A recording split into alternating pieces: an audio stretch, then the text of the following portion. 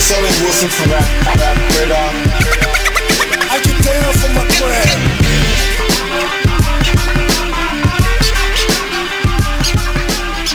Ladies and gentlemen, T.I.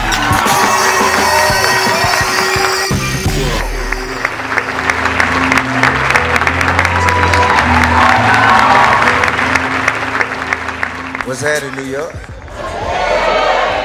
T.I., how you feel, baby? Man, I'm coolin', man. How y'all doing? It's the king. For sure. How you feel, man? Paperwork, man. Ninth album. A lot of cats don't get that far, man. Yeah, man, it's a blessing, man. I really do appreciate being able to be here, man, and, and still do what I love for a living. What do you think makes this album different than the previous eight albums? Like, what, what stands out to you from this project? Because I know you take each project very seriously. You do a lot of fucking records. You do like tons of records. Like, do. Talk to me about paperwork and what makes this like different than the previous works. I, I believe this one was different, man, because uh, I didn't necessarily have any any uh, box or conformities. You know what I mean? I ain't had nothing that I felt I had to do except grow, show growth, show evolution, and and and just push myself beyond my limitations as an artist creatively. And also, you know, usually every time there has been, you know, the uh, a T.I. hiatus, uh, whenever I listen to everything that's going on, that tells me exactly what not to do. You know what I'm saying? Whenever I hear, okay, this is what everyone else is doing, this is the lane they're going down, I make a conscious effort to go the opposite direction. Uh, with, I mean, with understanding of what everyone's doing, so I can sprinkle, you know, little elements of it in here and there. But I make a conscious effort to go the opposite direction, so I can continue to carve out my own lane. Yeah. So, what was it about the current state that you felt like, okay, this is cool, and I see this is why people are moving, but I want to go a different direction? It, it, right now, it's too electronic right now. You know what I'm saying? That's just my, you know, from what I have heard or, or, or from what I could observe compared to The anti-electronic clap. I mean, don't get me wrong. I mean, you know, I, I appreciate all art forms of music, all creations, everything that people put their blood, sweat, and tears, their heart and soul into. I salute it and appreciate it. But as far as the way I came up, the art form that I grew to love, it has gotten way too electronic now, and it's too easy to make beats and say, "Here, I'm a producer." You know what I'm saying? Yeah. So I, I mean, you know, so I felt like, man, you know, we're gonna get the instrumentation, bring the music back. We're gonna try to to to infuse the the way it used to be done with the way that it will be done tomorrow. The way UGK did with Riding Dirty, the way Jay did with Blueprint, the way uh, uh, uh, Snoop did with Doggystyle, the way Outkast did with Southernplayalistic. You know what I'm saying? You had elements of groups you may not have known. You may not have known Sly and, and the Family Stone. You may not have known Parliament. Uh, you may not have known. Uh, you. They're gonna learn today. you, I mean, you, you, you may you may not have known all of these other Where the- where the where the came sound from, came yeah, from, yeah. but when it was presented to you, it didn't sound old. Yeah. It sounded like, man, what's this new shit that sounds?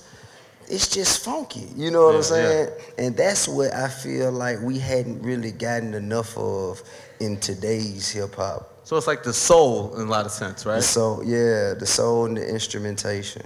So that's why I guess Pharrell made the perfect partner in that, right? Because Absolutely. this is a situation where you let him be executive producer, like you gave up some power with this process and really partnered with him on this project. I definitely did. I mean, you know, for real, he and I, we are so, so close together and so far apart in, in so many different ways, man. Uh, just our approaches to, to, to music, to life, to we we have so many similarities yet so many differences that you know what I'm saying. We both kind of let go a little bit. You know what I'm saying? Like we had each of the songs that you hear on on, on paperwork. Uh, all of those sessions were followed by at least an hour of commentary.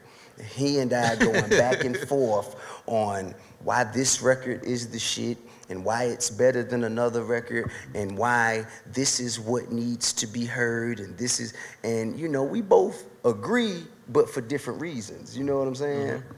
And uh, i think man it's that just that amount of passion that amount of honesty that amount of to, for me to be challenged you know just because i'm a competitive i'm a competitive spirit. So if you challenge me you know what i'm saying quite naturally i'm going to uh, you know, I'm a, I'm a, I'm a, I'm a rise to the occasion. Also, you're two guys that have such a rich history, each of you. Sure. So there's the challenge of how do we stay fresh? How do we create something that like is is honorable to our legacies, individually Sure. and collectively, right? Sure, I think for me it was, how can I let Pharrell give me the wings to take me here and still remain the anchor that keeps me here? You know what I'm saying? And I think that, you know, that's why it's that dichotomy that, you know, that drives this project. What do you respect most about Pharrell? I think his ability to reinvent himself, his ability to color outside of the lines and to, to, to diversify himself as a producer with working with all types of artists from uh, from Pusha T to Snoop Dogg to Daft Punk to Robin Thicke to Miley Cyrus to T.I. to I mean mm-hmm. he's been on the chart with everybody. You know what I'm saying? Yeah. In all genres. Has Pharrell done a country record? Pharrell, I challenge you to do a country record. You know what I'm saying? Anybody who can take a song like Happy and make it like, you know, I was gonna say, what did you make of him? culture. I mean, you got I seen gangsters, cold gangsters. You know what I'm saying? on Bankhead, on Crenshaw, in Brooklyn. I mean, cold-hearted gangsters. You know what I'm saying? Happy. Cause I'm happy. This is my shit, son. You know what I'm saying? Anytime you know you get a you get a you get a producer that could do that in music without compromising the integrity of his brand and without alienating the people from the other genres he's worked with. That's that's you know lightning in a bottle. That's sheer talent. Gonna say, but like all those behind the scene wins, now he's in the forefront. He's an artist in his own right. Like, how is that changing your estimation? Did that, did that affect any way you guys working together at all? Well, I mean, it lessened the time we had to work, of course, but I mean, as a homeboy, as as his partner, and and just as a supporter, man, you know, man, go do that. I can handle this. You know what I'm saying? Like for real, you've done. I always tell him, bro, you done did enough for me. I'm good. Yeah. I don't need. You ain't got to show up to 106 and Park with me. You ain't got to. You know, you go do the voice. You go ahead and travel Stockholm or Yeah. wherever. You know what I'm saying? Wherever you got to go, man, to get your to get your just due, man. Go and get it. When you get back, I'ma have this handled. Yeah. And that was, you know, that's the way we work. I'm not really bitching and moaning and griping because I can't get Pharrell to do this, that, or the other. He did what I needed him to do, more than I would have asked him to do. Yeah. Also, I heard he was played a role in influencing you to go with Columbia Records because for people that don't know, you had a very lengthy, long relationship with Atlantic Records, gave them a lot of albums, a lot of hits, and then you was a free agent. Like, talk about that and what, what Pharrell may have said to help convince you to go to Columbia and, and just what that whole process was like being a free agent at this point in your career. Well, I mean, man, Pharrell basically, even before, even when I was, you know, uh, working on my last album with Atlantic, uh, he was very just instrumental ever since I got out of prison. Like when I got out of prison, that was my first, that was the first beat CD I got from, from Pharrell. You know what I'm saying? And we did that, uh, and we did that one record, man. What did we call that record? Hear ye, hear ye. There you go. Who is that person? I, did that record in the halfway house. That was the very first record that I recorded. Wow. That it was that record, and then the one that I did with with, with Crit Flexing. So Flexing. those were the first two records that I did coming home. But Pharrell's record, Pharrell was the first beat CD that I got, and ever since then, you know, it seemed like every time I get, every time I come home from prison, Pharrell's the first person I see. You know what I'm saying? It seems like he's always sh- showing up as soon as I I'm come free. home. Skateboard P. And he's like, well, let's get to work. uh, but um, I mean, man, and, and ever since then, he's just consistently like very genuinely week in, week out, calling, checking, how's the music coming? What are you thinking? What's your plans? You know what I'm saying? Just that kind of shit. So I'm like, man, he's the one that's most consistent and most genuine in his, you know, uh, support. Yeah. And I feel like, you know, that that that's that's hustle gang shit. That's what we do over Yeah. here. And I mean, I just definitely appreciated it to the utmost. And when he said, uh, when I became a free agent, of course, you know what I'm saying, we had all kinds of offers being tossed So you with Dr. Dre sitting down, getting the Yeah, I photos. spoke to the doc. I say, Doc, you don't care nothing about no music, man. Couldn't damn well you ain't finna do no album. I can't get four tracks from I you. know, good damn well. Nah, man, I love Doc, man. Me and him have an awesome, uh, an awesome relationship. I just felt that he had so much going on, and I saw him so far and few in between, you know. But thank you to Doc because he he blessed me as well. But thank you to him. But I mean, like for real, bro, it was really like he said that in his experience, Columbia was the most artist driven company he's ever been in, been at or, or witnessed. He, like they are pro art. So they, not gonna press you to have it finished by this date to complete the end of their fiscal. They're not going to, you know, they're not going. fiscal. Yeah, they're not gonna bring all of the other elements that kind of cloud an artist's mind and decision making. If this is the single you want to go with, they're gonna let you go with that single. You know what I'm saying? They're not gonna force you to do something or conform to something that doesn't suit your art. And I, you know, and no offense to, to Atlantic, I love Atlantic. They're my longtime friends, partners, supporters. I still love, admire, and respect everybody in the building to this day. But make no mistake, we was all in it to get money. You know what I'm saying? Yeah. At Atlantic, it was okay. So, Tip, welcome home. When you think you can have this ready for us?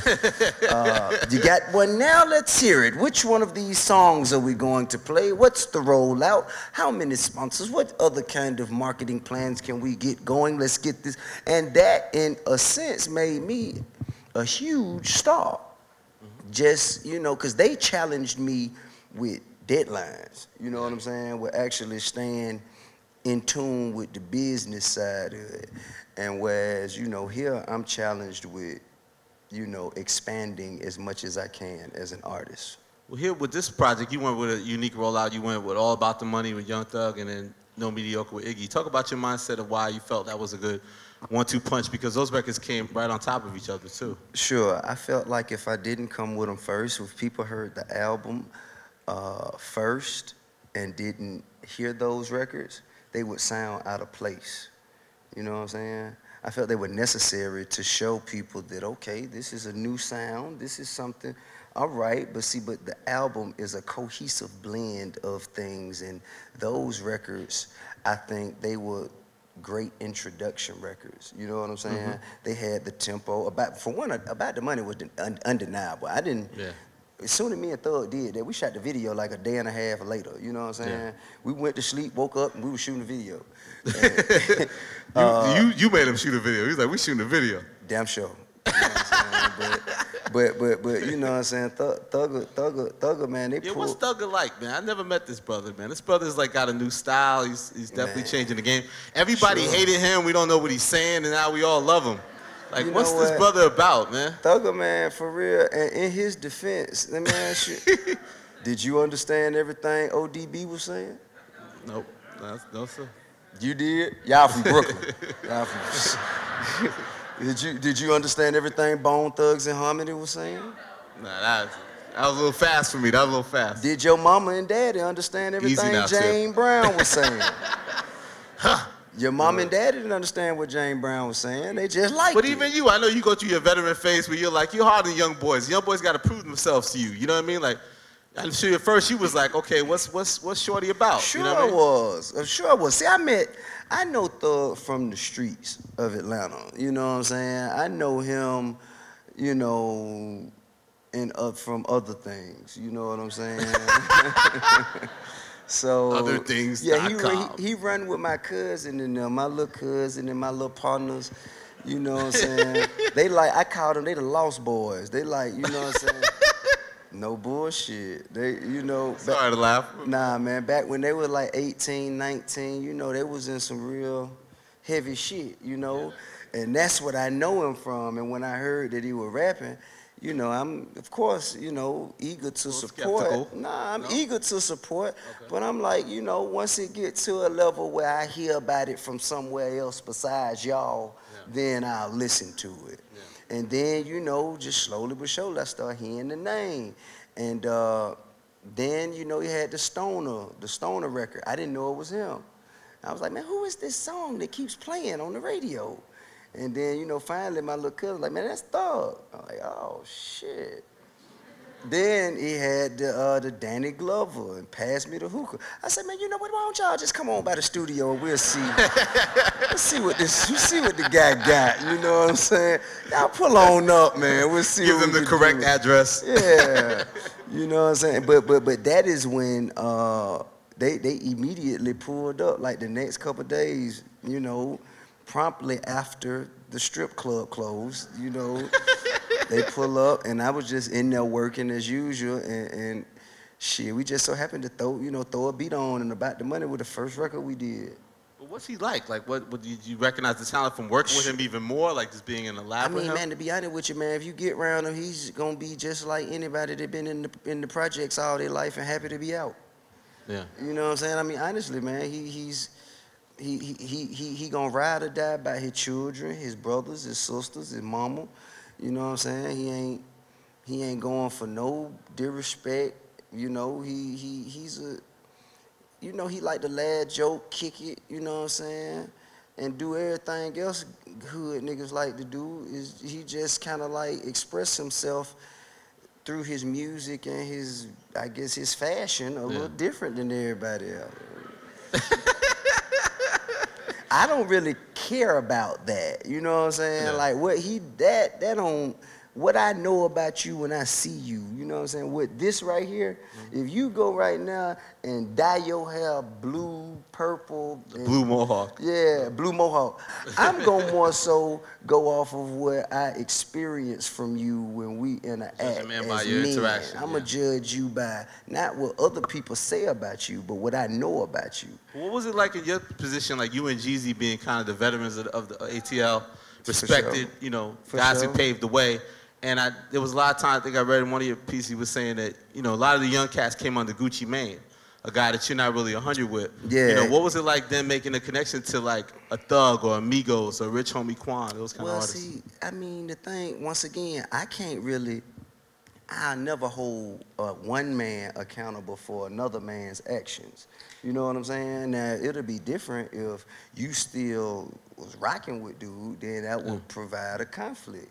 So, you know what I'm saying? I feel like ultimately, man, you know, the proof is in the pudding. Shit, sh- shit speak for itself. what do you think? I, I mean, it's real. What about? Uh, I know you also developed a lot of respect. Also, speaking of ATL's regeneration uh, with Migos and Rich Homie Quan. Talk about your interactions with them and how you got to know them. I mean, the same way, just when cats just started, you know, consistently putting out hit records, I'm like, come on by, let's see what you got. Yeah. I literally pull up on them, what's up? Uh, you pull up on I cats. pull up on them just like that, what's up? what you got? What y'all doing in here? You know what I'm saying? Let's see what you got. Just like that, for Yeah. real. You, I mean, that's your thing about. Besides your career, you've always cultivated other talent. Let's talk about Grand Hustle's first lady, man, Iggy Azalea. Like, how did that come together? Like, you saw the vision way before the charts, topping hits Right. and this tremendous year she's had. Like, Right. talk about what, how you first got in business with her. How did that How did that come to be? Well, my uh my DJ MLK, he uh kind of got me a list of cats to look for when I came home, and I just you know immediately went to where we find all the things in life nowadays we find on the internet, and uh, I just I just began to just search and find, and when I saw her, I immediately knew that there was something special about her. You know what I'm saying? I mean, aside from her being uh, six feet blonde and just you know rapping like rapping like she's from Bankhead or, or, or Alabama or Houston or something like that. I just knew that she had some. It's kind of like you know that killer instinct, that kind of that that undeniable determination that you see when you look in Rihanna's eyes. That's what I seen in Iggy. You know what I'm saying? Like whether you like it or not, I'm gonna be there. So you know what I'm saying? You can get down with this shit now. You can kick yourself in the ass later. you know what I'm saying? Like that's that's what I see when I see her. And I immediately called her people and asked if we could, you know, get together for a meeting. And when she came, that pretty much what she told me. You know, it's smart of you to call me. And then I, I heard the Smart accent. of you to call you. That's exactly what she said. On hello, that's what she said. Smart of you to call me because uh, I am going to be smashing shit soon and no one is going to be able to breathe. And you may want some oxygen, and if you're down with me, I'll allow you to have oxygen. And that's what she said. I said, you, you sure right. And you know, and I said, I tell you what then, why don't you do this, man? Let me see if it's something that I can add to what you already got going. so what was that? What were you able to add to the situation? Strategy. The strategy, you know what I'm saying? Just how to, you know, she was doing a lot of shit and she had developed a huge, huge fan base and motherfuckers would drive for miles to come see her whenever she was performing. I just felt like, you know what I'm saying, there was some dots that needed to be connected. It was some people that needed to be replaced. And it was, you know, just a proper application of skill that needed to be platformed and presented. But she always had like a vision for how she would, you know, present her talent, like how she like how she saw her art. Everything from wardrobe to set designs and you know what I'm saying, all that shit. She already had that. It just was the business side of it, the the mm. actual, you know, the the the facilitating of all of the, the the moving parts that needed to come together for it to be a success. I mean, success because of big records like Fancy and those kind of records. Like, do you feel like, okay, when these records came together, like, this is gonna be, this is gonna impact culture? I said immediately, fancy. I said, hey, that's that, that that's the record. And then she, you know, of course, in the grand Iggy Fest, she, I don't know. I think I like. And I'm like, okay, cool. And I say, fancy, that's the record right there. And you know what I'm saying? And you know, and then now fancy became, you know what I'm saying, the the longest stay at number one for a female hip hop artist, you know, uh, then, you know, Iggy say, I always knew Fancy was the record. but, you know what I'm saying, I think that, man, man, Lil Sis got a long way to go, man. She still, she still got so much of a future ahead of her. I don't think people have even begun to see what she's capable of.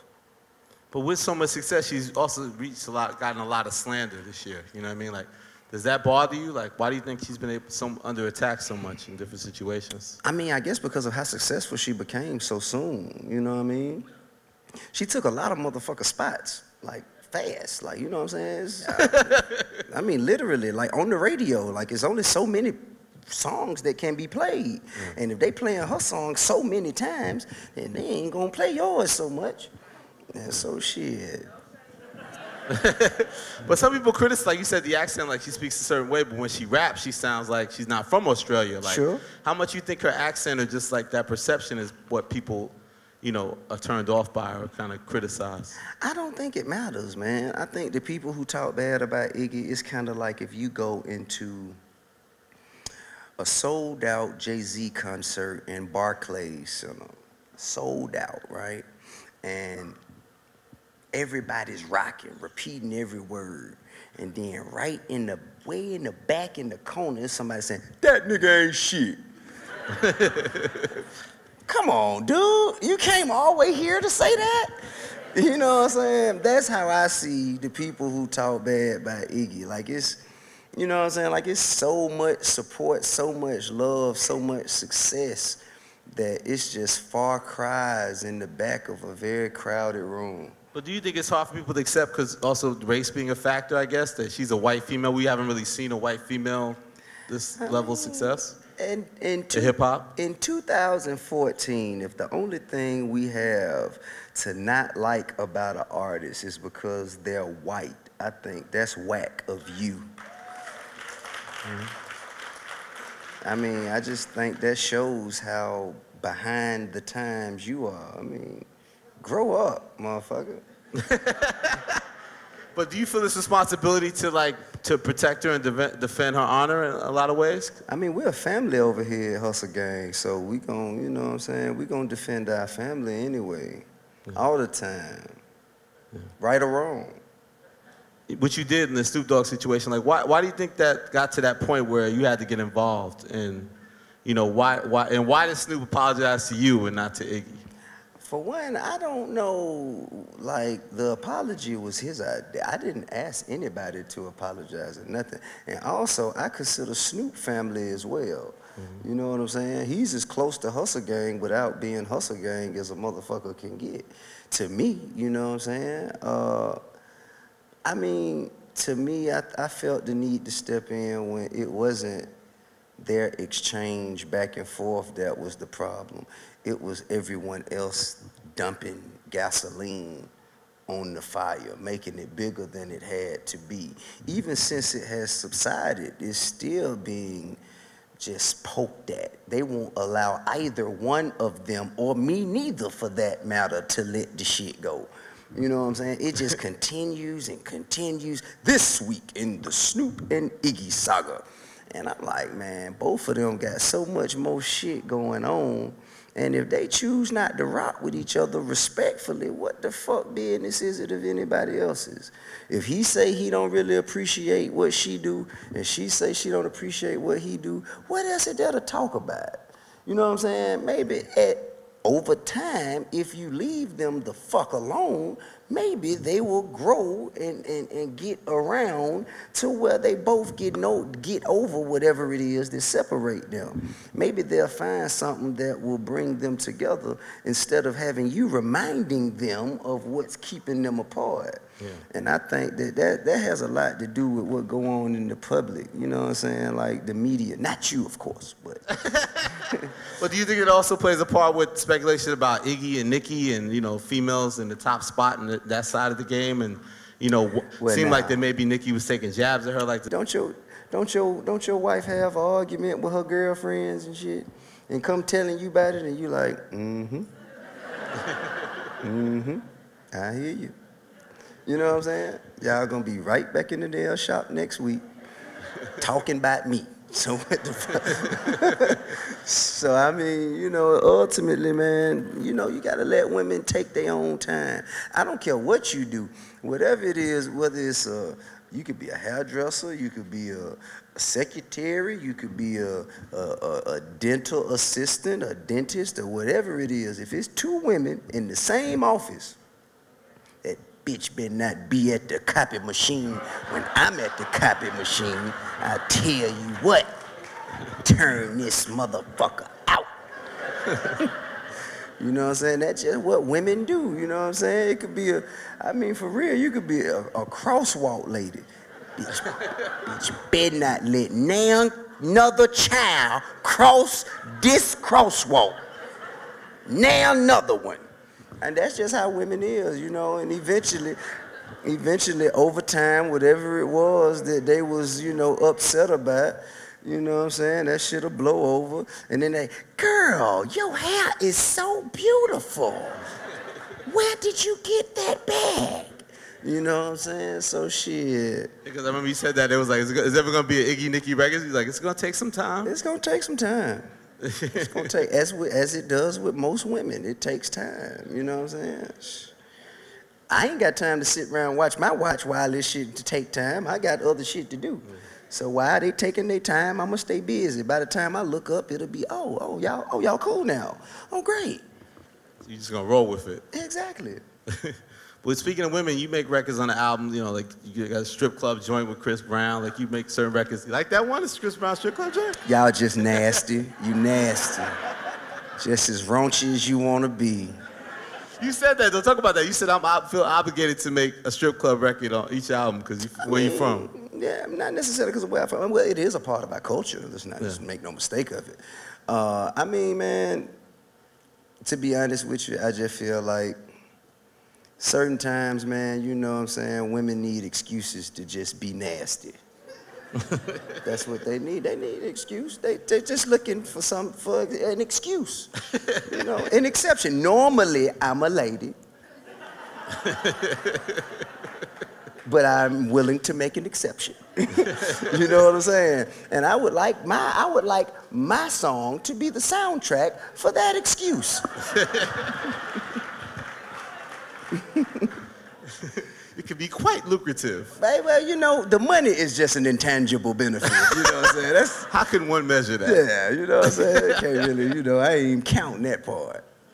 But it's not all funny games. Like you have a record like Stay. That just seems like a very personal record, very vulnerable record. Like, was that difficult to record? And like, you make so many records. Why was that important to put that on the album? Nah, it wasn't difficult to record. It was very easy to record. Everything, everything's sincere. You know what I'm saying? And you talking about shit you know.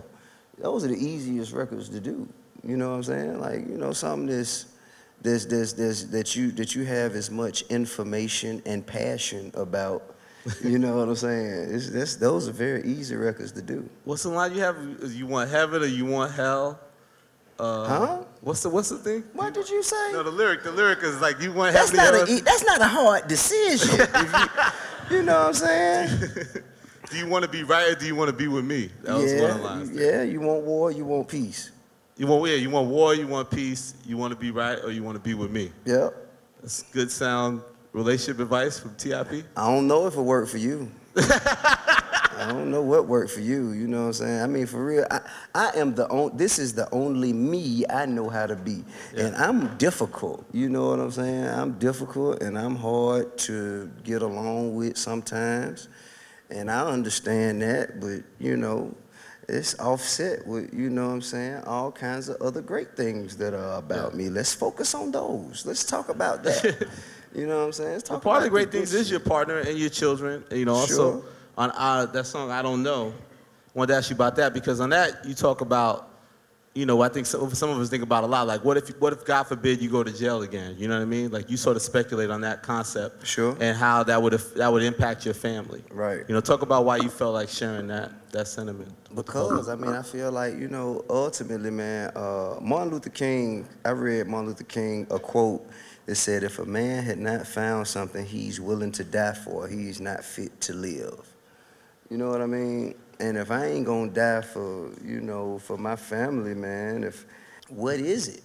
You know what I mean? And ultimately, well, thank you guys. It's, it's like five courageous people in here. What do you like as a child, T.I.? Man, you know, I believe as a as a child, it was seeing how the cult, how the art form uh, affected my older, like cousins and older sisters and my uncles to see how they responded to it. And I guess I would be looking for attention. So, I, like to get attention from them, I would rap like LL Cool J. You know what I'm saying? Nobody can rap quite like I can. I t- and I knew all the words. You see what I'm saying? Yeah. Like I could actually say the words. All they did was they just kind of tried to mimic The it. cadence, yeah, Yeah. They, but see, I knew the words, and so hence my love for language. There we go.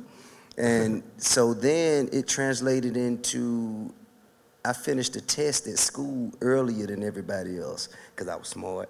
And um, they wouldn't let me get up. They wouldn't let me do nothing. I was just sitting. I was stuck sitting there waiting on all of the other slow kids to finish. and so I just started seeing if I could write a rap. Just figure, just trying to Which see. grade is this? This was second grade. Yeah.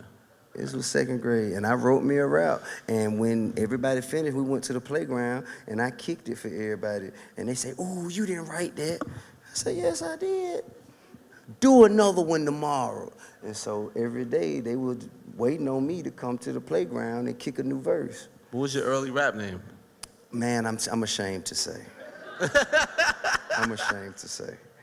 It was Tiny T. Tiny T. And he ends up with a woman named Tiny. How beautiful is that? See? I never thought about that. but that was that was my that was my name back then. Jeesh. But when you got the deal, you got the deal in '99, right? I did. So yeah. wait, how'd you become Tip? Where did Tip come from? That was a family nickname, right? My daddy gave me that name. I think they say that was his grandfather's or either his father's name. yeah. And he named he just, you know, affectionately called me that, you know, around the house. So when you was in the hood and hustling, people would just know you as Tip. Yeah, that's it. Just tip. Little bad ass tip. that, was, that was my name. Little bad ass tip. That's that's what everybody called me. And then I think when you got the deal, you like you KP signed you from uh, Parental Advisory, but they sort of tricked you into going to the studio, right? To to get the deal? That's deal. nasty as hell. Who What is that? Let's get his drink right. That's not Time good. out. Time out. Nah, you can continue on. If someone could please, I need a new cup with some new ice now. This has been ruined for me. The king needs his beverage properly. Nah, I got people over there who gonna see about it. Go ahead. No, get getting the deal. Talk about that process of like like writing rap set grade, but then finally getting a recording deal. What was your mentality at the time? Because at the time you were still hustling too, right? I was. That's really how I got. It was a dare, actually. Um, Jason Jeter, who's still my manager and partner in Grand Shout out to Hustle. Jason Jeter. Right on. Shout, shout out to Jay Jeter. Him, DJ Toomp, and my cousin. And my cousin, uh, Tremel, his name, uh, well, his nickname is Toot. Who who passed? He's not he's not with Yeah, us no more. yep. Yeah, he's actually uh, the inspiration to the record "Let Your Heart Go," um, the Dream record, the last number fifteen. So, so we were all in like we had I, Toot had introduced me to Toomp. Toomp introduced me to Jay. And we'd all, you know, put our money together and did a demo, and it was jamming like a fool. And we knew that it was better than everybody else's shit. It just was. Um, and then they had a meeting, you know what I'm saying? They they had a meeting and and had a thank you, sir. They had a meeting and and and had sat me down basically because I was already on probation. I was bad, you know what I'm saying? And they sat me down like, hey, listen, you still out there doing what you doing, and to be honest with you, we could be wasting our time, our money. If you get caught, it's it all goes away. So, you know, in natural TI fashion, I say, well, I tell you what then. I tell you what. Then you take me somewhere right now where I can go and I can get paid for doing this shit. Take me to see somebody who can sign me right now and I quit. So then Jay say, I got somewhere. so he was an intern at Patchwerk Studios and he knew that there were always people in there, you know, from Organized Noize and, you know, uh, Lil Jon and just just all kinds of people in and out the studio. So he called to see who was in session and it happened to have been PA. So he just called him and said, yo, I got somebody up there who's hotter than anybody y'all fucking with right now. And they said, bring him up. So they brought me up there and basically stopped the beat, say, where he at? And I say, what's up? And then they say, him? say, nigga, you? you know what I'm saying? So then they say, oh, okay, okay, okay, I see. Well, then they hit the drum machine. Can you rap to this? Nigga, what a booth. So I went in there and I recorded my verse. They were amazed. And KP came and heard and had a meeting with me. And uh, two weeks later, I get a page. And the page was a number I didn't recognize. This was back when we had pages and used and used payphones. Uh, shit, go figure. So I called and they said, "This is LaFace Records, man." I I said, "What? Who? Did somebody somebody page me from up there?" And uh, so KP hit me and said, uh, "Well, he uh, he picked up the phone and said, "What's up, this KP? You met with me the other night, PA." I'm like, "Oh, okay. What's happening?" So he say, uh, he say, uh, "Well, you know, I was just saying, you know." you know, a group a group of us was going out to L.A. man for for the Source Awards. Me, Outkast, Goodie Mob, the YoungBloodZ. You know, we just wanted to see. people. We just wanted to see. If, we just wanted to see if you want to go. what? When? I'm ready now. I'm on the corner of Bankhead and South Grand. You can drive by here right now. I'm ready to go.